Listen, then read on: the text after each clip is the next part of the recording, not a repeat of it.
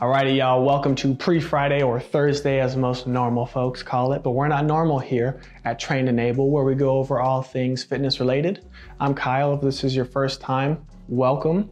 Uh, we've been doing a lot of home workouts, especially for my beginners out there. So I'm going to link a playlist and you can see all of them if you're getting bored and need something to do. If you are returning, thanks for sticking with us and I appreciate you.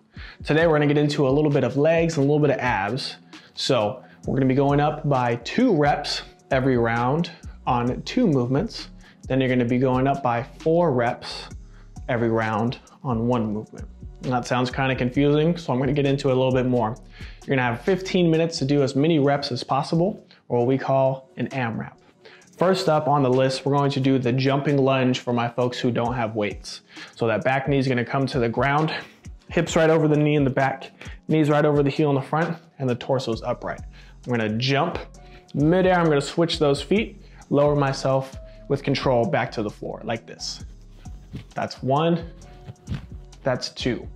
Then, for my folks who have weights, you're gonna do a little something different. We're gonna do what they call an uneven rack carry. Let me give you two options for this. So you can have one on the shoulder, one kind of like you're carrying a suitcase, and you'll just do the reverse lunge here. Okay, that's option one for my weighted folks. If you wanna get real fancy, you can go uneven here. So one's up, one's down, okay? So two jumping lunge or two uneven racked lunges. Then we're gonna do two alternating V-ups. So we've done the V-up before, but the alternating V-up you're gonna reach opposite arm to opposite leg while the other just, just kind of chill there, okay? So you'll come down. I've heard some people call these jackknives as well, so if that's kind of more in your terminology, awesome. Okay, so we're doing two of each of those the first round, then four, then six, etc.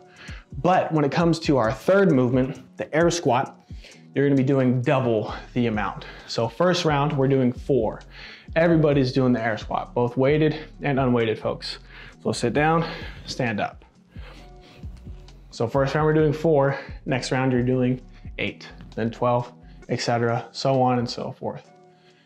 So first couple rounds it's gonna go by quick, but make sure that you're choosing an appropriate pace because 15 minutes is gonna feel really long, really fast. So have fun, work hard, get sweaty, don't die like, comment, subscribe, share with a friend, and I'll see you guys tomorrow, Friday, for our another home workout.